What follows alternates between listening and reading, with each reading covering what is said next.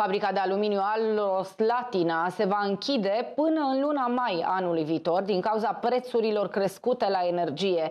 Peste 2000 de angajați vor intra în șomaj. În acest context, zeci de sindicaliști nemulțumiți din cadrul companiei au protestat în fața Ministerului Energiei.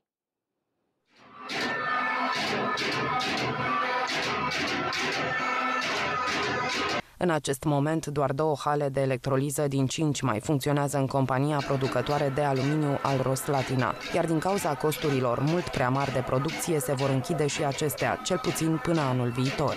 În acest sens, peste 100 de sindicaliști din cadrul companiei producătoare de aluminiu al Roslatina au protestat în fața Ministerului Energiei. Aceștia îl consideră vinovat pe Virgil Popescu, ministrul Energiei, pentru situația în care se află în acest moment fabrica. Protestatarii cer ajutorul guvernului Consiliului, precum și demisia oficialului. Este și mai rău. Este și mai greu. O să vină iarna și o să avem societăți închise. Dacă domnul ministru nu ne ajută și nu facem așa fel să dea legi ordonanțe sau ce pot să dea ei acolo, numai ca să ne ajute ca să putem trece peste iarna asta, s-ar putea în primăvară să nu mai aibă, să nu mai aibă metalurgie în România.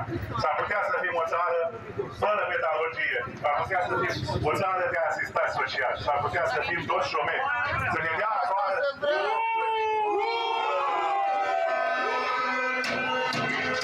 Președintele sindicatului Aluministul, Constantin Popescu, a anunțat recent că fabrica al Roslatina își va asista complet activitatea până în luna mai 2023. Astfel, peste 2000 de persoane vor rămâne fără loc de muncă. Decizia vine în contextul în care, în urmă cu doar câteva luni, și Alum Tulcea, o altă fabrică din grup, a fost închisă tot din cauza creșterii valorii energiei și a materiei prime.